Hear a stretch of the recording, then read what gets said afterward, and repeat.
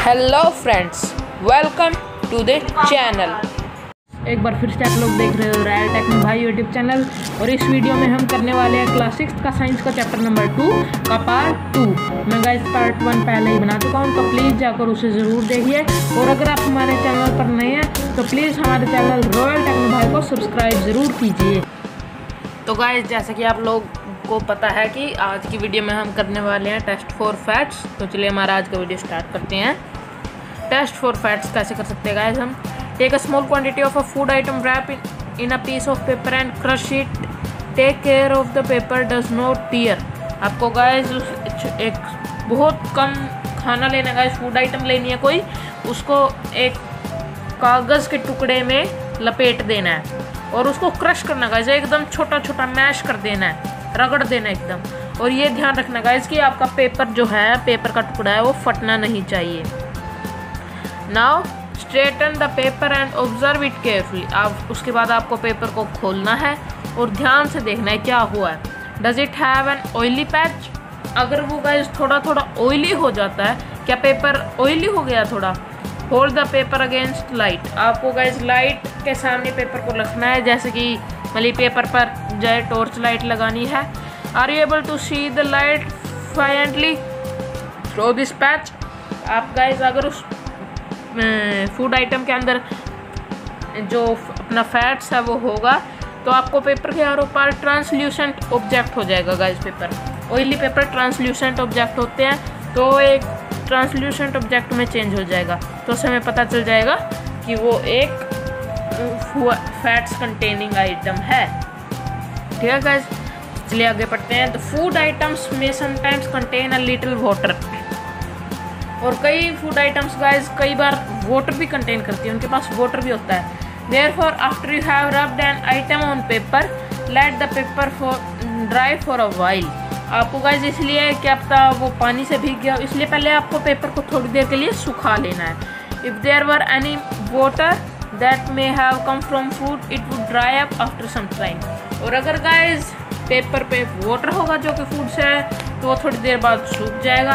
If no oily patch shows after up after this the food item does not contain any fat और अगर guys आपको oily patch नहीं दिखता है तो मतलब फ़ूड आइटम में फैट्स नहीं है।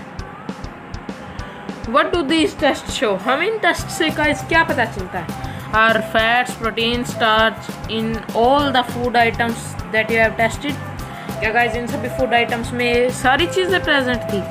Does a food item contain more than one nutrient क्या एक फ़ूड आइटम्स एक से ज़्यादा न्यूट्रिएंट कंटेन कर सकती है, रख सकती है? Do you find any food item that does not contain any of this guys आप क्या कोई ऐसे फ़ूड आइटम फाइंड कर सकते हो जिसमें कुछ भी ना हो इन सब में से? कोई भी न्यूट्रिएंट ना हो। एक बार गाइज़ ये एक्सपेरिमेंट करके देखना। We tested food items for three nutrients carbohydrate proteins and fats हमने अभी तक गाइज़ थ्री न्यूट्रिएंट्स चेक किए हैं। There are also other nutrients like vitamin and minerals जबकि और भी अभी न्यूट्रिएंट्स हैं जो हमने चेक नहीं किए हैं। That are present in different food item वो अलग अलग फ़ूड आइटम में होते हैं। Why do we need all these nutrients हमें न्यूट्रिएंट्स की ज़रूरत क्यों पड़ती है? What do various nutrient do for our body और वो हमारी बॉडी के लिए क्या करते हैं? तो चलिए वो हम इस पैराग्राफ में स्टडी करते हैं। Carbohydrates mainly provide energy to our body carbohydrates हमें एनर्जी देती हैं हमारी बॉडी को। और to our fats also give us energy fats भी हमें एनर्जी देता है। In fact fats give much more energy जबकि फैट्स हमें ज़्यादा एनर्जी देता है कार्बोहाइड्रेट से। Food containing fats and carbohydrate are also called energy giving food और जो गाइस जिन फूड्स में कार्बोहाइड्रेट और फैट होता है, उन्हें हम एनर्जी गिविंग फ़ूड भी कहते हैं। और गिवन इन 2.3 एंड 2.4 ये गाइस 2.3 है। एंड दिस इज़ 2.4 अंडरस्टैंड चलिए। Proteins are needed for our growth and repair of our body और गाइस हमारी ग्रोथ के लिए हमें प्रोटीन्स चाहिए। ठीक है now next page food containing protein are often called body building foods और जिन फूड्स में गाइस प्रोटीन होता है, उन्हें हम बॉडी बिल्डिंग फ़ूड भी कहते हैं। Vitamin help in protecting our body vitamin हमारी बॉडी को प्रोटेक्ट करने में हेल्प करते हैं। अगेंस्ट डिसीजेज बीमारियों से हमें, हमारी बॉडी को प्रोटेक्ट करते हैं। Vitamin also help in keeping our eyes bones teeth and gums healthy और वाइटामिन जो होते हैं गाइज़ वो हमारी आइज़ आँखें, हड्डियाँ, दांत और गम्स मसूडों को गाइज़ बहुत हेल्दी रखते हैं। Vitamin are of different kind vitamin के भी गाइज़ बहुत सारे टाइप होते हैं। नोन बाय डिफरेंट नेम्स और उनके नाम भी अलग अलग होते हैं। वो होते हैं vitamin A vitamin B vitamin C vitamin D vitamin E and K ये भी साइज़ गाइज़ विटामिन होते हैं वाइटामिन मैं गलती से विटामिन बोल देता हूँ, लेकिन ये वाइटामिन होता है. There is also a group of vitamin called vitamin B complex और एक अलग ग्रुप भी होता है जो वाइटामिन वाइटामिन बी कॉम्प्लेक्स कहलाता है. Our body needs all type of vitamin in small quantities हमारी बॉडी को गाइस थोड़े थोड़े सभी वाइटामिन चाहिए होते हैं। Vitamin A keeps our skin and eyes healthy vitamin A guys हमारी स्किन को हेल्दी रखता है और हमारी आँखों को हेल्दी रखता है। आपको पता है गाइस अगर आपकी आँखों आपके शरीर में विटामिन ए की कमी हो जाती है तो आपको रात को दिखना बंद हो जाता है। वो नाइट ब्लाइंडनेस होती है बीमारी। Vitamin C helps in body to fight against many diseases disease से लड़ने में विटामिन सी हेल्प करती है गाइस और अगर विटामिन सी की आपके अंदर डेफिशिएंसी हो जाती है तो वो स्कर्वी हो जाती है. स्कर्वी में गाइस हमारे वाइट ब्लड सेल्स जो हैं, वो डिस्ट्रॉय होना शुरू हो जाते हैं.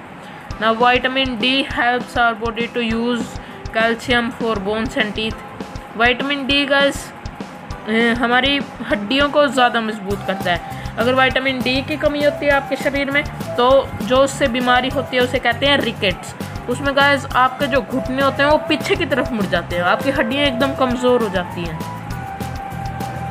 ठीक है गाइज़ और जो गाइस विटामिन रिच फ़ूड होते हैं, वो आपको 2.6 और 2.9 में दिखाए गए हैं। Minerals are needed by our body in small amounts minerals भी गाइस हमारी बॉडी को स्मॉल अमाउंट्स में सब चाहिए। ठीक है गाइज़ अब आगे बढ़ते हैं।